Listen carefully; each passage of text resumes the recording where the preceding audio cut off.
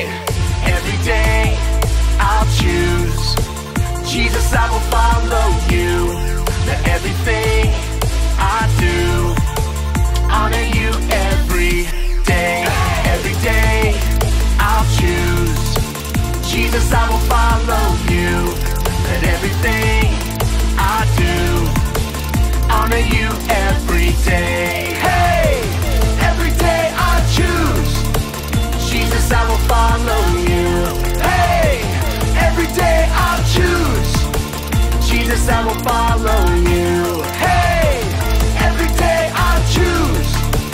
Jesus, I will follow you.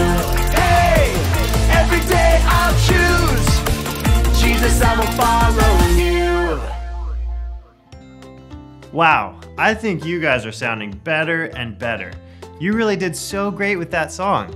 I just love hearing you sing. That song did help me cheer up a little bit. So, do you guys remember what we've been learning about? Let me give you a hint.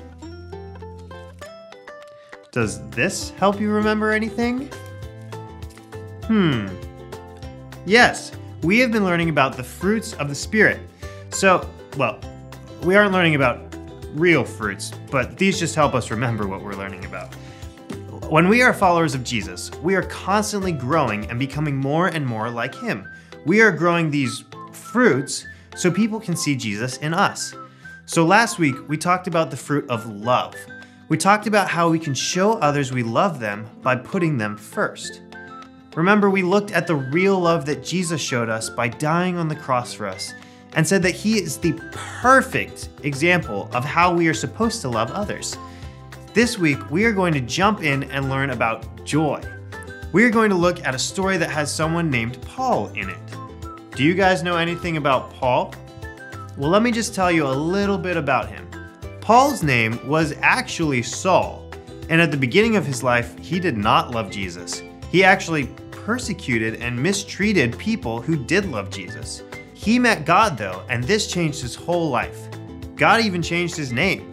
Paul then went out on many journeys to teach and preach about all the incredible things that Jesus had done. But because of what Paul was preaching, many people wanted to put him in jail or even kill him. So let's grab our Bibles and turn to Acts chapter 10 and learn from Paul and his friend Silas. Slapstick Theater Paul and Silas. This is Paul, Hey! who told people about Jesus in lots of different places. One day, Paul was walking with his friend Silas. Hey, yo! They were being followed by a girl who was controlled by an evil spirit.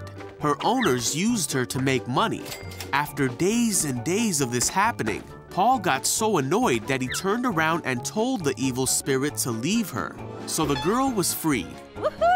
But her owners got mad at Paul and Silas because they wouldn't make any money off of her anymore. And they had them thrown in jail.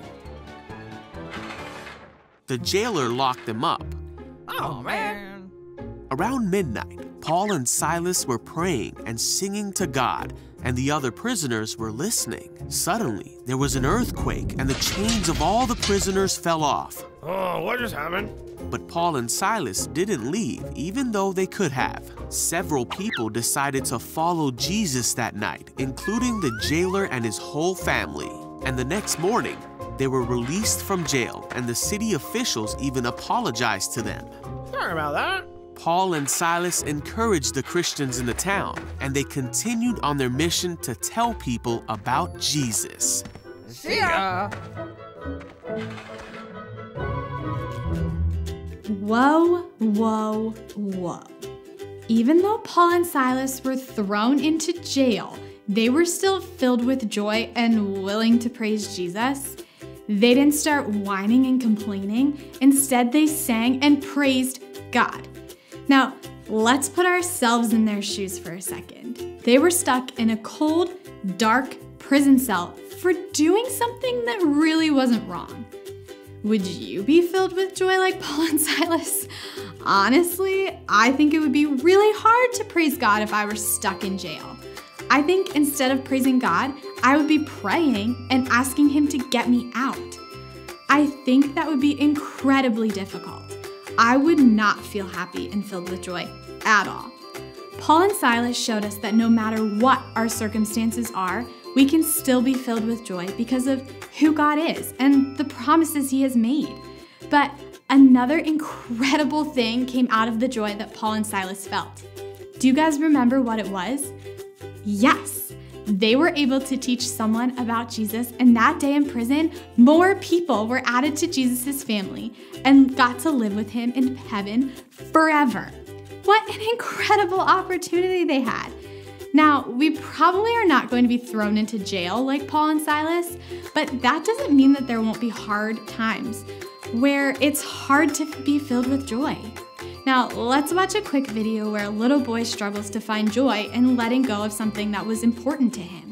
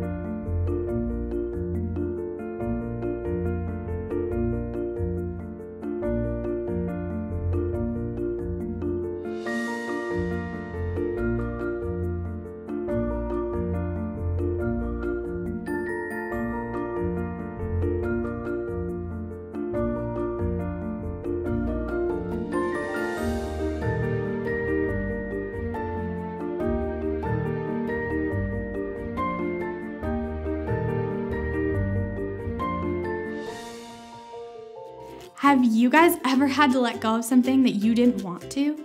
This little boy really didn't want to get rid of the toys. He was really upset about getting rid of the toys, wasn't he? But when he let them go, he was able to share joy with others. He was able to see the great joy that his old toy brought to someone else. We can do this too. We are able to share the joy that Jesus brings to our lives with the people around us. Sometimes life is hard or sad, but there are so many stories in the Bible that show us that we can be filled with joy if we have Jesus in our lives. When we become a part of God's family, we are filled with the Holy Spirit, and the Holy Spirit is in us to be our helper in all types of situations in our lives. The Holy Spirit can help us with joy and help us praise God in circumstances just like Paul and Silas. But I want to tell you something else.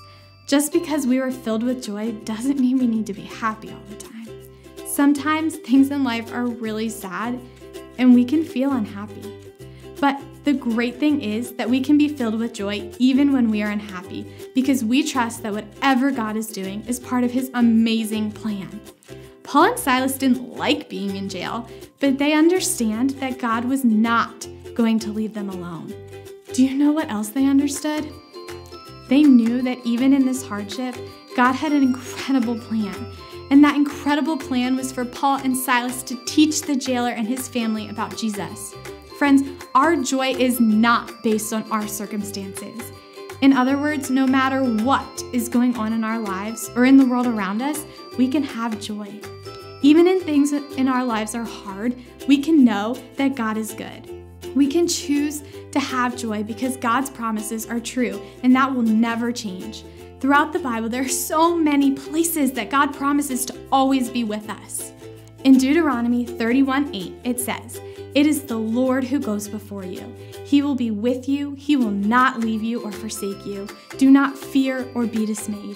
What incredible comfort and joy we can find in these verses. God has promised to always be with us.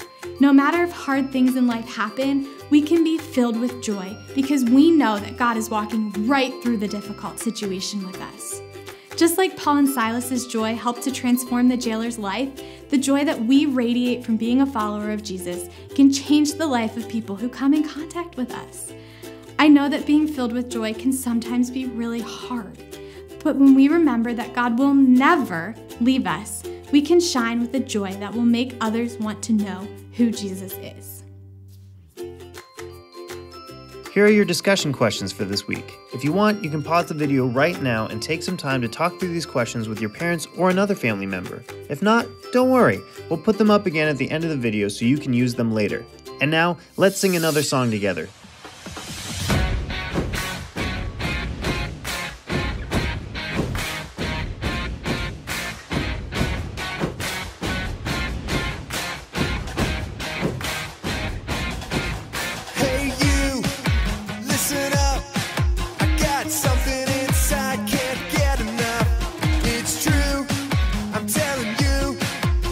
you see.